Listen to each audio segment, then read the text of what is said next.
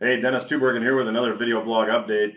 You know, in light of the recent Brexit vote, uh, the vote of the British citizens to leave the Eurozone, there's been a lot of speculation, a lot of talk about what this means for not only the British economy, but the worldwide economy.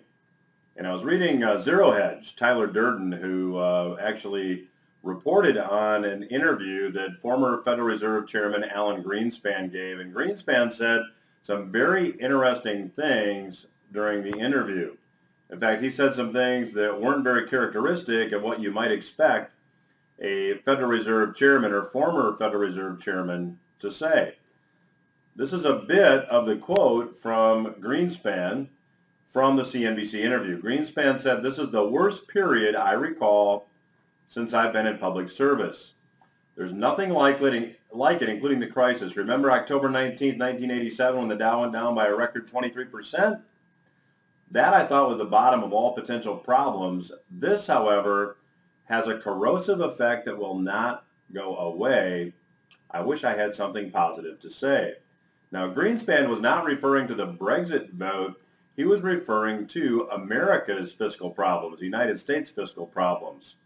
Greenspan says the problem is unsustainable welfare spending. He called it entitlements, Social Security and Medicare. Now, here's what Greenspan said, and again, I'm going to read from the interview. The issue essentially, the issue is essentially that entitlements are legal issues. They have nothing to do with economics. You reach a certain age, or you are ill, or something of that nature, and you're entitled to certain expenditures out of the budget without any reference to how it's going to be funded. Where the productivity levels are now, we're likely to get something close to even 2% annual growth rate. That annual growth rate of 2% is not adequate to finance the existing needs. And here's the big part of the quote. I don't know how it's going to resolve, but there's going to be a crisis. Now, Greenspan did present a very surprising solution. I'll talk about that in my next video blog update of the week.